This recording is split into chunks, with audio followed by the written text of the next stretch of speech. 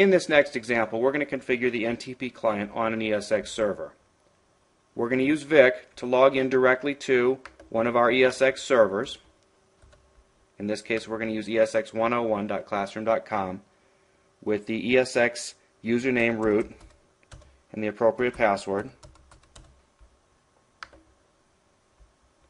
We're going to click Do Not Display Any Security Warnings for ESX101.classroom.com. This merely means we have never connected to this ESX server before.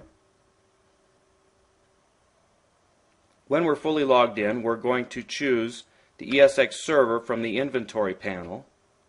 We're going to choose the Configuration tab, and we're going to start by selecting Security Profile.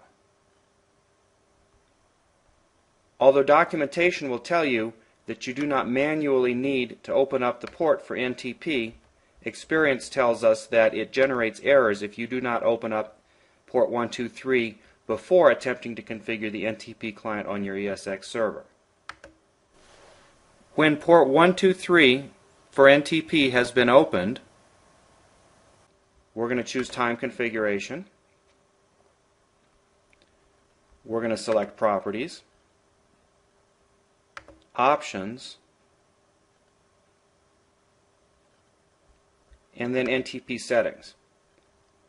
It's important to remove 127.127.1.0 as this is the local clock on your ESX server and it may not provide the correct time for your environment. So we remove that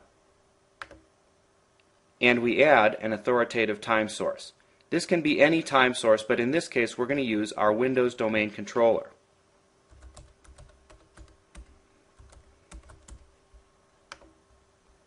Clicking on OK, and then OK.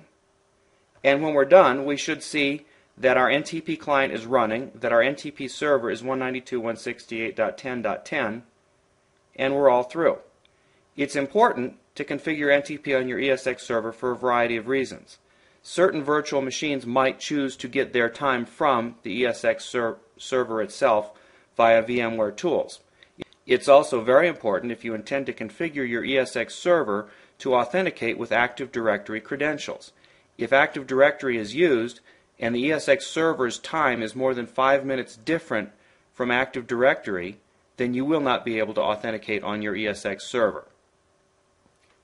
You will need to repeat these steps for each ESX server in your environment and you will have successfully set all of your ESX servers to the same authoritative time source.